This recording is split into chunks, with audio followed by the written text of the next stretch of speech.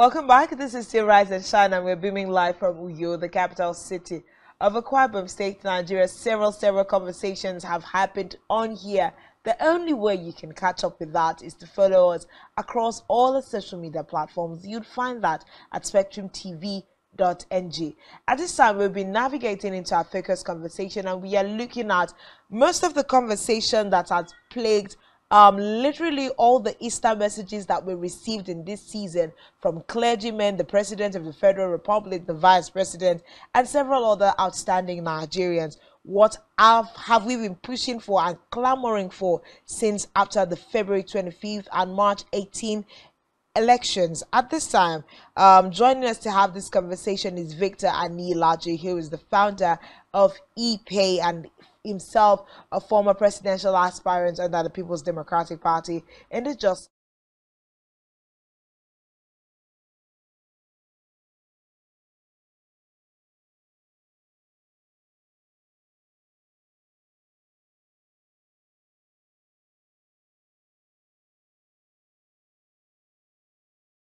Good morning. Thank you for having me. Great. Uh, so nice to see your faces again. so nice to be on your show. Awesome. Thank you. Thank uh, you. Why, why do I feel that your topic today is a setup for me?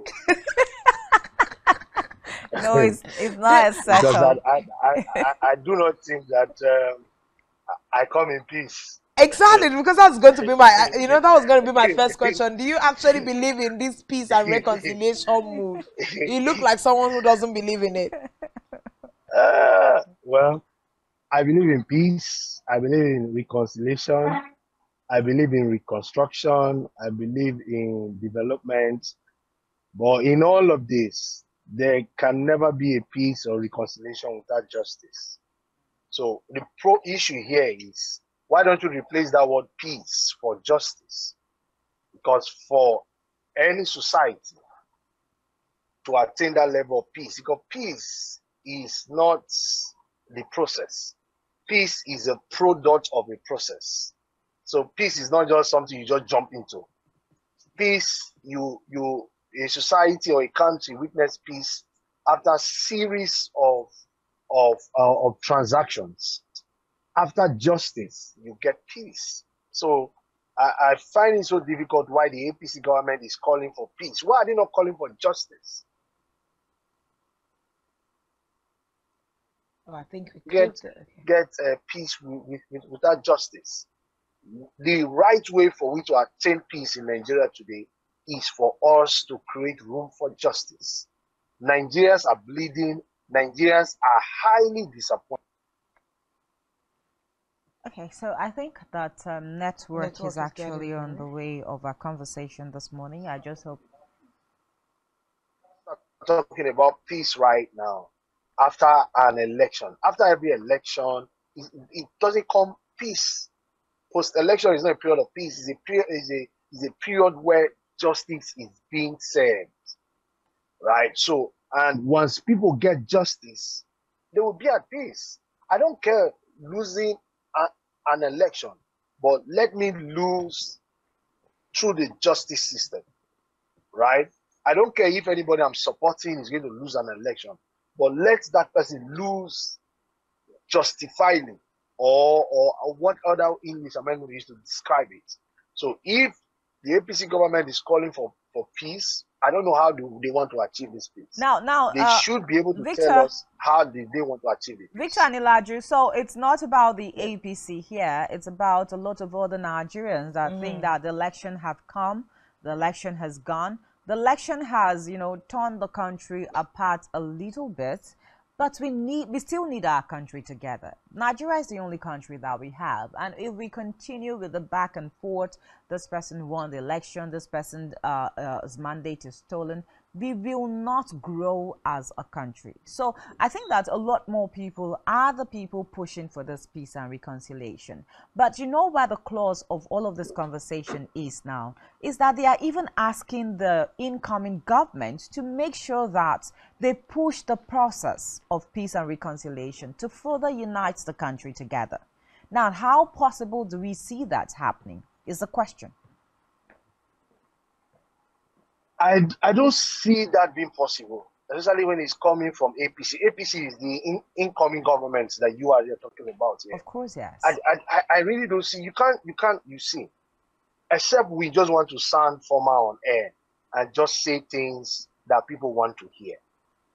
You can't deprive millions of Nigerians who voted for a particular candidate and you you you you deprive them of their choice and you want to speak of peace eh, for me this has been the the issue that we are facing as a people. You know what people are what what the apc government is trying to tell us?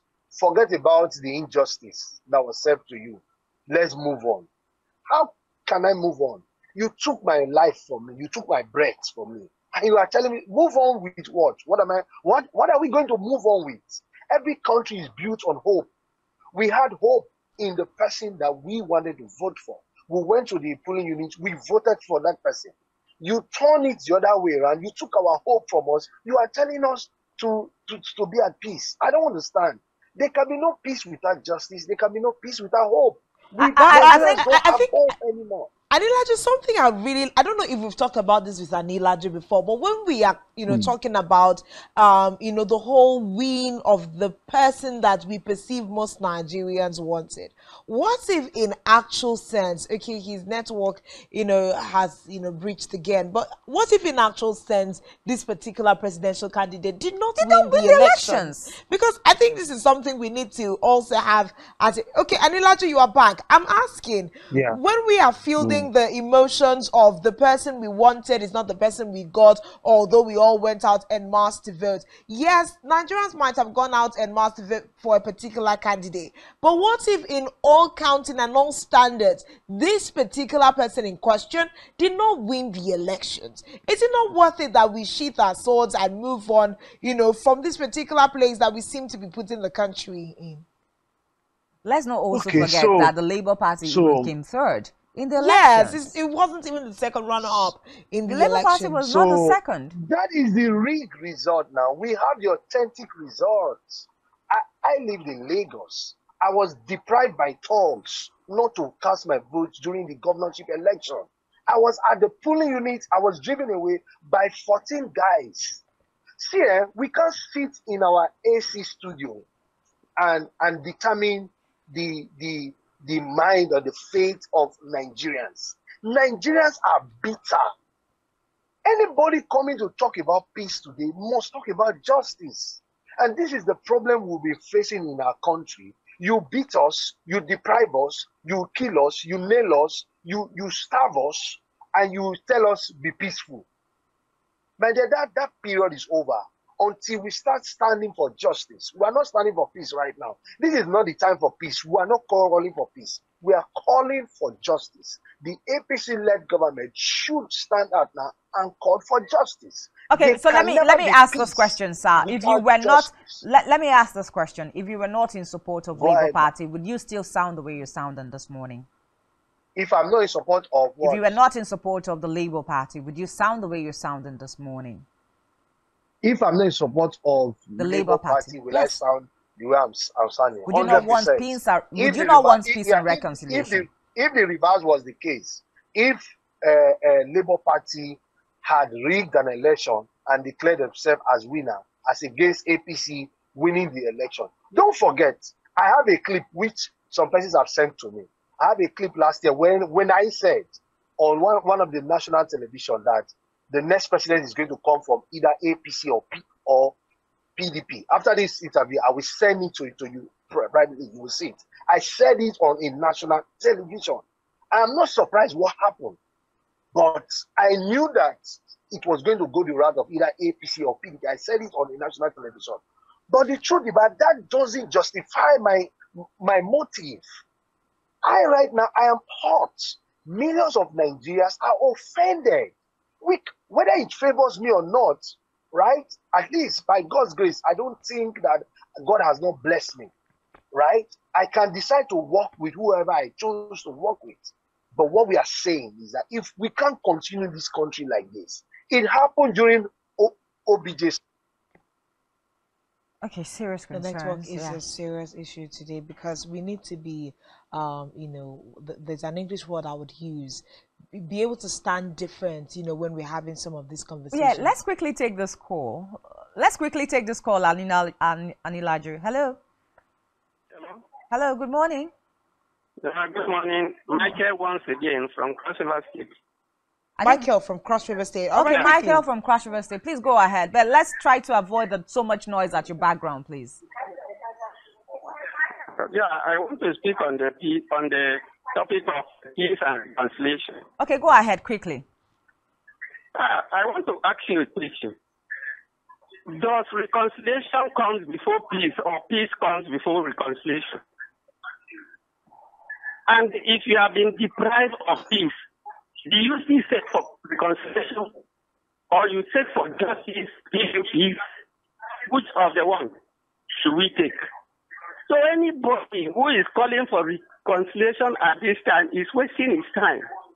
The reconciliation, the peace would have been started during the electionary period, but you have prodded the elections, destroyed people of their rights, you disfranchise some, and you are now calling for peace. You say, let's forget and go ahead and uh, swallow our bitter tea. Is that how it's done in other nations? All right. Okay, thank you so thank much, you. Michael. Yeah, thank, thank you. you so thank much, you. There's Michael. so much noise coming in from your background, please. We have to take down that call. But I think his he point has pretty has much been made, made. his point. Yes. Yeah, it, it's just a question of some of the things Anilaju was talking about. Are we pushing for peace and reconciliation before we have, you know, established that justice has been served? So I think justice is at this time, with the way the conversation is going, justice is more important than peace and reconciliation. But, uh, but I think but, we are talking process yeah. also. You are, we're talking process. Process. How we go about this. We cannot the truth is we cannot continue crying over spilled milk. That is just the truth. And we cannot further tear the country apart because exactly. we're looking for justice. But i'm going to ask you a question anilaju fantastic you have made the position that justice is needed first before we begin to talk about peace and reconciliation.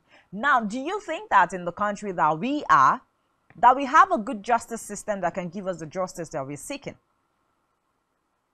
So this is the real discussion. So this is where we all should be putting our energy. The Nigerian judiciary system has the opportunity now to bring the peace that is needed in Nigeria by doing the right thing. You can't go the wrong way and expect a positive result. You can't take a negative action and expect a positive result. So what we should be doing now, both the media, both the APC government, is to ask the judiciary system to give justice. Let justice be said. Like I said, and you asked me a very straight question. If my candidate lost an election, I am not going to we, we really have to have this conversation I, this morning because it's quite interesting the way it is turning yeah. out this morning mm -hmm. because I'm going to ask Anilaju when you say let the justice system okay fantastic just go ahead on your line of thoughts before yeah. I ask my so next if, question if we know that the person that have been announced as the winner today actually won the election we are no fools now for me, oh, you, you know, you, you know what the way I see this. This same rigging of election happened during OBJ's time. We said, oh, let's give room for peace. Let's go ahead. Let the, the country develop.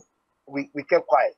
It happened during Buhari's time. We said, no, let's give room for peace. Let, let's move ahead. We kept quiet. You want us to do the same thing? The question I want to ask us is, have Nigeria developed? Have we grown? If we keep on saying let's call for peace after every election and throwing away justice, has it helped us? Has it added to our GDP? Our GDP is still going down. Development is still nowhere. And we want to go this route. We can't keep doing the same thing and expect a different result. At this time, every media houses, every Nigerian should be calling for justice and not peace. Because the truth about it is that what we call peace is just silencing the, the, the citizens, denying the citizens of their fundamental human rights. Now Nigeria is not secured. Now Nigeria is not developed. Our currency is going down every day.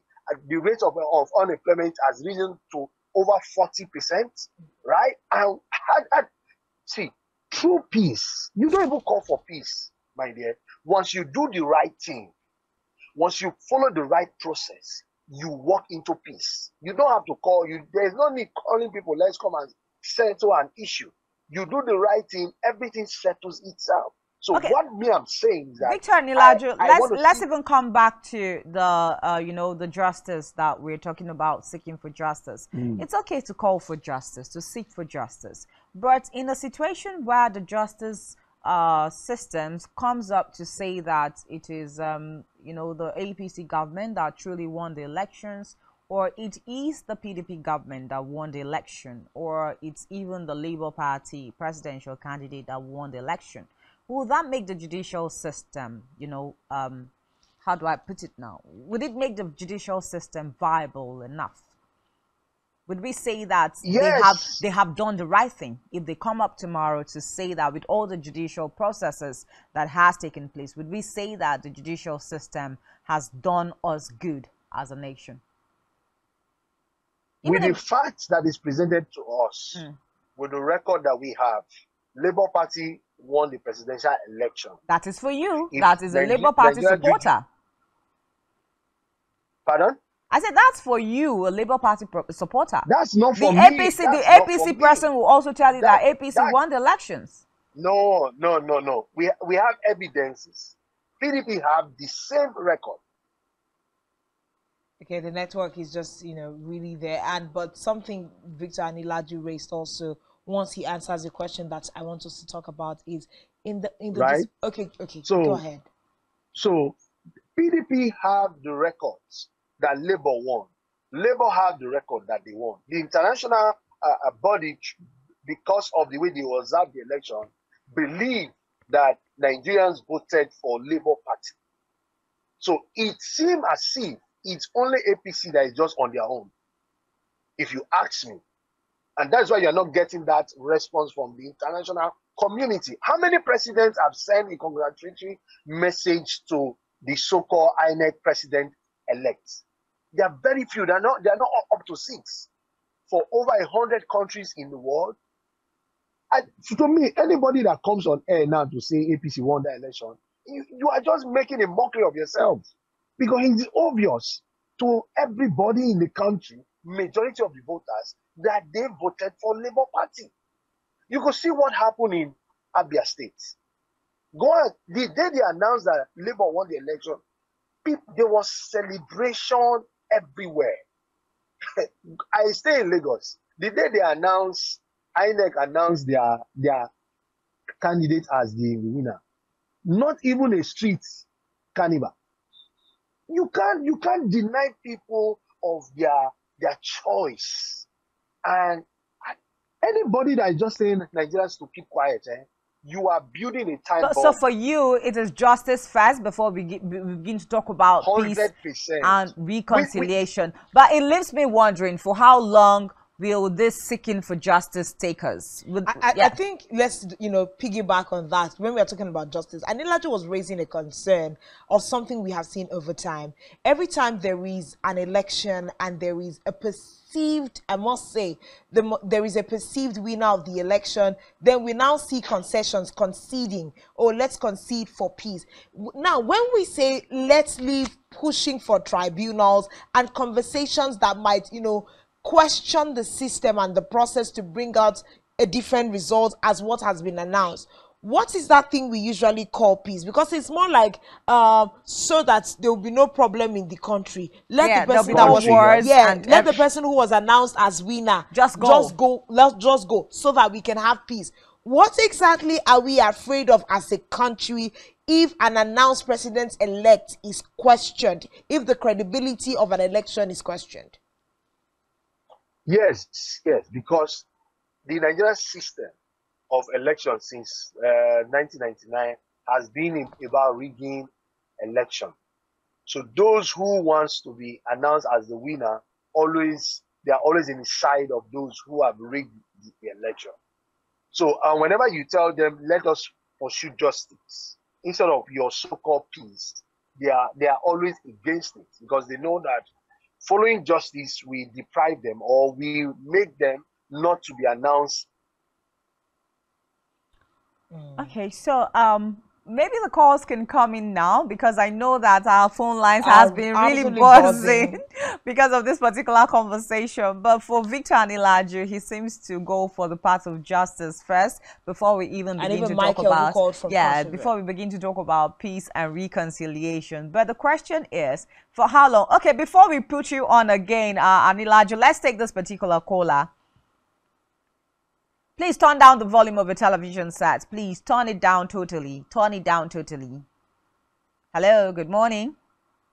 This uh, Mr. Olanrewaju from Katsina. What's your name, please? Olariwaju from O- Katsina. okay, Yes, Olariwaju from called Katsina.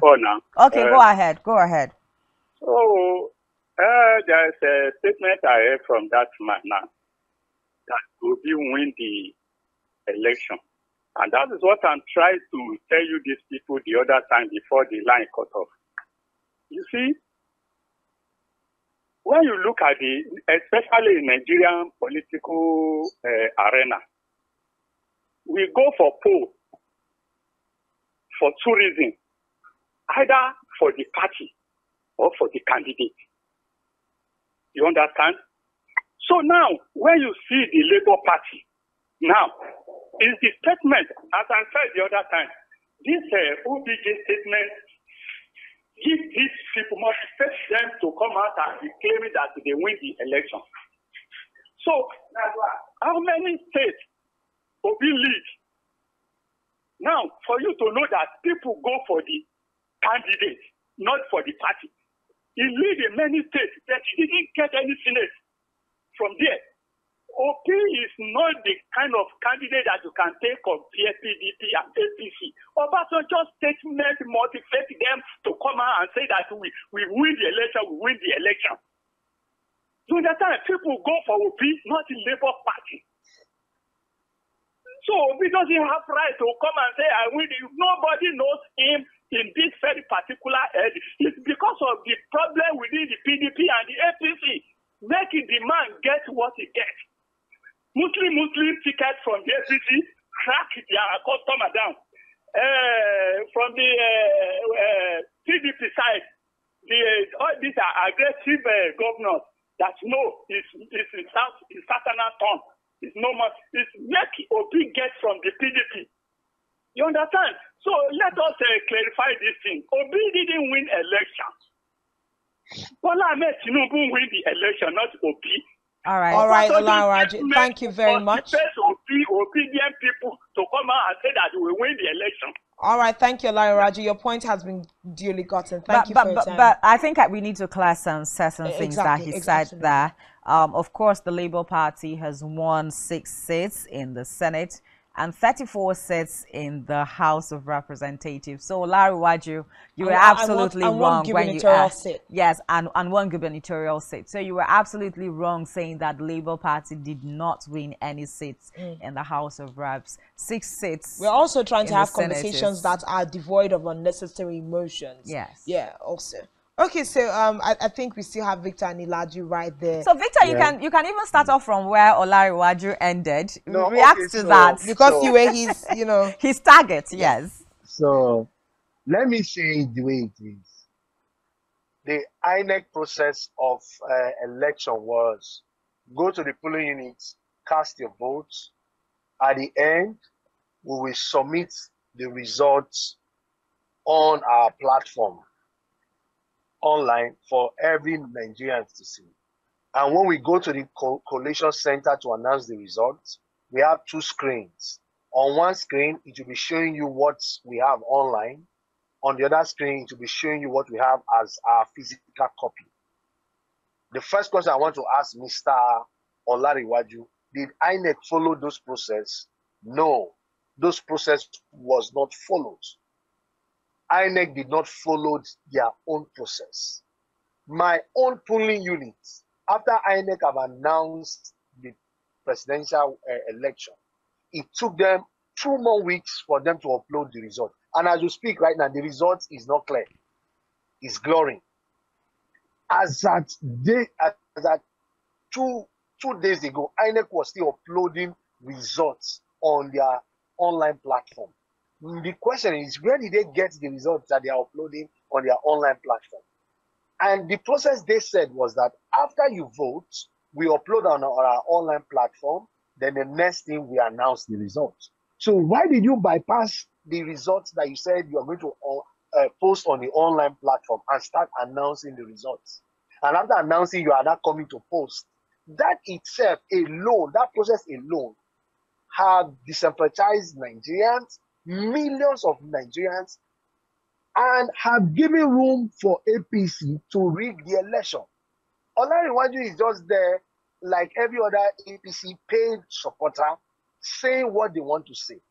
But the question I always want to ask, did APC or INEC follow the INEC laid out guidelines of the election? If they say yes or no, we cannot know who is lying or who is not lying. Mm. And I know that they will agree with me that INEC did not follow the laid down process. Follow the process. That's all we are saying.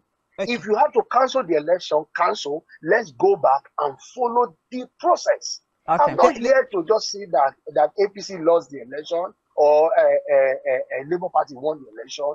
INEC gave us room to believe that there was something done behind the scene.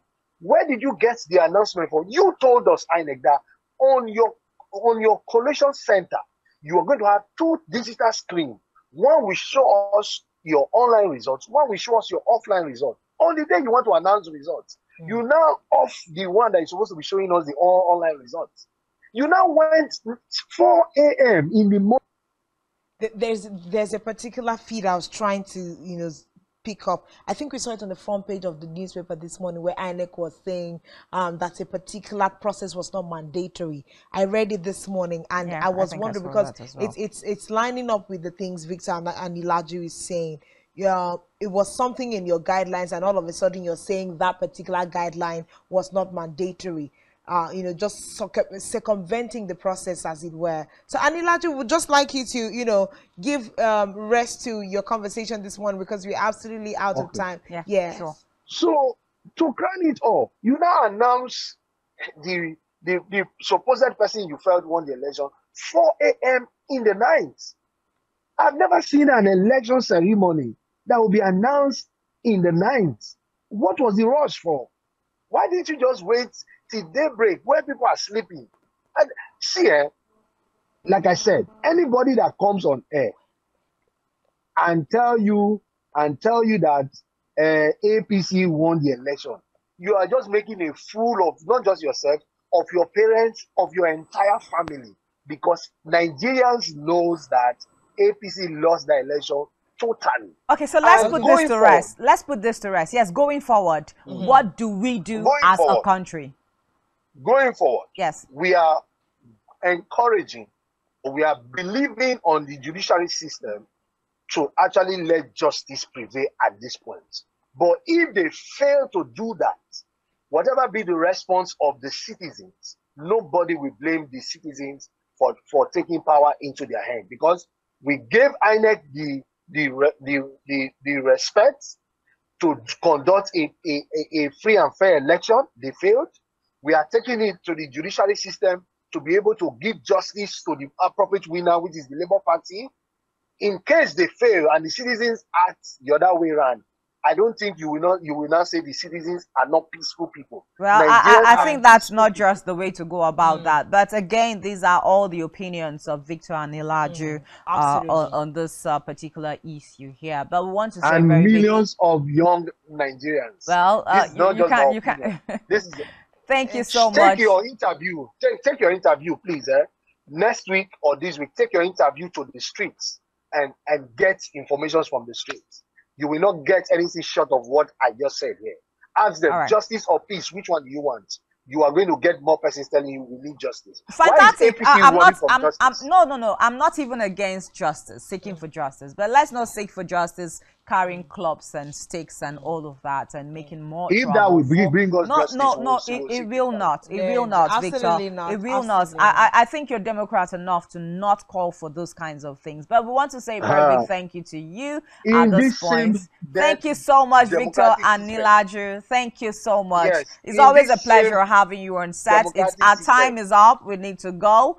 And um, oh yeah, serious issues, uh, peace yeah, and reconciliation yes, for I, I think the most important thing that yes. we've picked up from this conversation is yes. that justice comes before peace, peace and, reconciliation. and, reconciliation. So the whole system in the country, the judiciary, INEC, everyone in the process needs to make sure that justice is served. And also, what I would like to land on is whatever is served us as justice, quote and unquote, whatever. Yes. You know, let us be ready to take it to take it forward. and move forward. Yes. That's just the truth of mm -hmm. the mm-hmm. matter. It is not a problem of, it's not a thing of you carrying clubs and saying Nigerian youths are protesting. Mm -hmm. Meanwhile, the children of these politicians are oh, outside the country yes. and nowhere close. Mm -hmm. So. This is where we draw the curtains. It's been a heated conversation on SAT this morning, and uh, we do appreciate you for all the calls and all the reactions you have given um, as to all the things we have actually discussed this morning.